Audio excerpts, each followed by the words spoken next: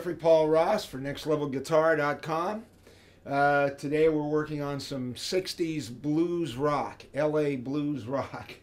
Um, and we're in the key of E. Now, if you would like a free video lesson with a corresponding ebook that's not on YouTube, just click on this link below that's in the text box and we will email you this free video lesson with a corresponding ebook from Next Level Guitar.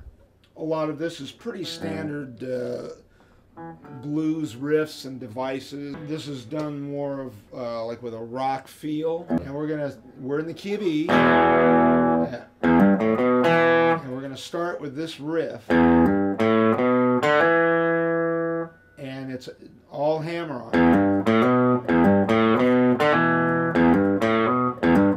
That one isn't. So the first one's a hammer on. That means I'm just picking it once with my right hand. And with my second finger, okay, I'm, I'm picking the low E string and hammering onto the G on the third fret with my second finger. Now the next one I'm going to pick each note. We're on the A string on the second fret. Open A.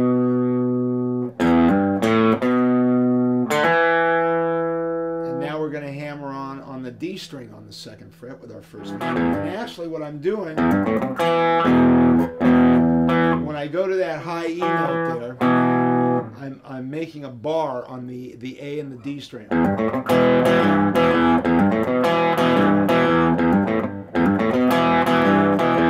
So.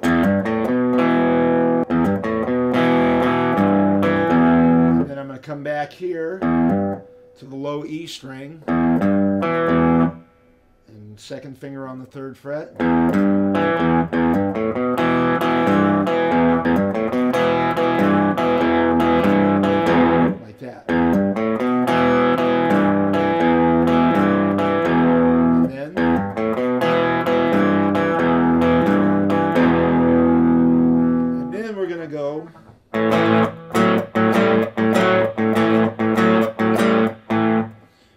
This is a standard blues device. They usually refer to it as a grinder. And we're we're in the key of E, but we're off the A chord now. So we've got the open A string. And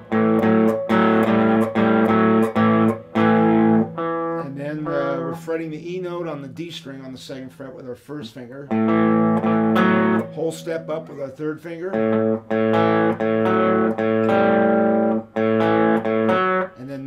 Up a half step. Catch that seven.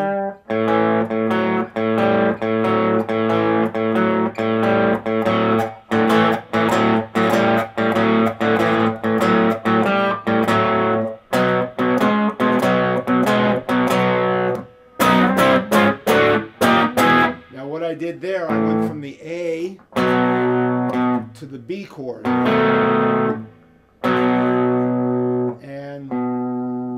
Got my first finger there on the A string on the second fret. And my third finger on the fourth fret on the D string. And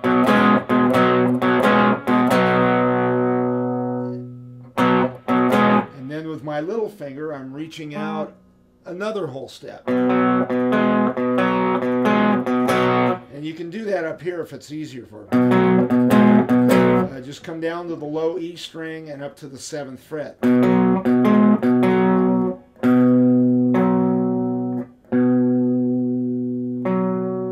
you can see how I'm doing that. Now why that might be easier is because as you go up the neck, the frets get closer together. So that spread might be easier for you for you to do.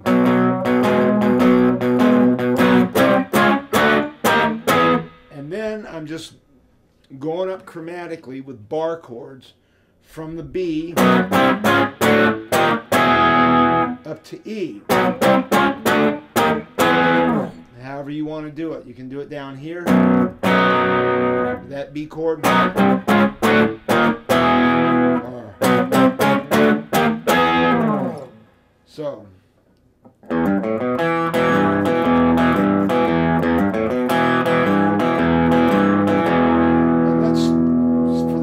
Or so. just uh, repeat that. We'll do it once and repeat it.